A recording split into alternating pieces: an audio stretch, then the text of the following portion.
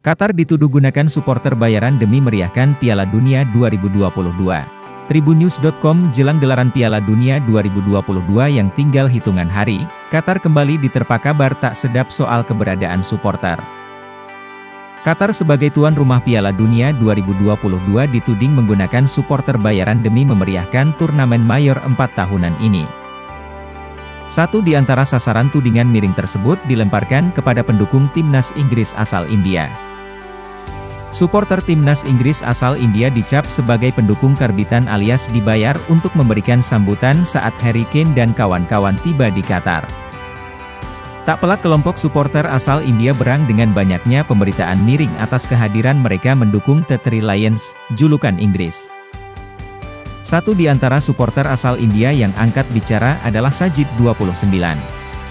Dia menampik dengan tegas bahwa tak ada satupun dia ataupun rekan-rekannya menerima upah untuk mendukung salah satu negara tertentu di Piala Dunia 2022. Ini murni berita palsu dan saya ingin mengatakan dengan keras dan jelas bahwa tidak ada dari kami yang dibayar dengan cara apa pun, terang Sajid, seperti yang dikutip dari laman Fox Sports. Dia kemudian menceritakan bagaimana dirinya dan kelompok pendukung timnas Inggris asal India mengidolakan The Three Lions sejak lama. Kami adalah penggemar berat Inggris. Sejak kecil, pemain favorit saya adalah David Beckham. Kami memiliki penggemar Wayne Rooney, kami memiliki penggemar Michael Owen, tambahnya.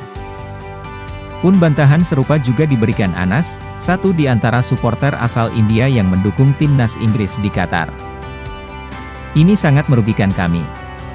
Orang-orang tidak menyadari betapa semangat sepak bola ada di Kerala, kota wilayah India, ujar Anas menekankan.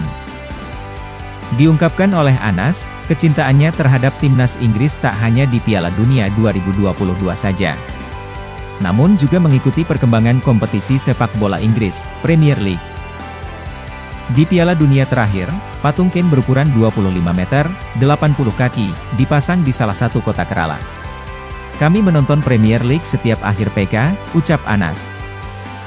Adapun cara tersebut, jika benar supporter bayaran, adalah hal yang normal dilakukan oleh tuan rumah. Mereka mencontohkan Afrika Selatan dan Korea Selatan Jepang ketika menjadi host Piala Dunia. Keberadaan warga lokal memberikan dukungan kepada negara tertentu dianggap sebagai satu di antara sekian cara untuk menyukseskan Piala Dunia 2022.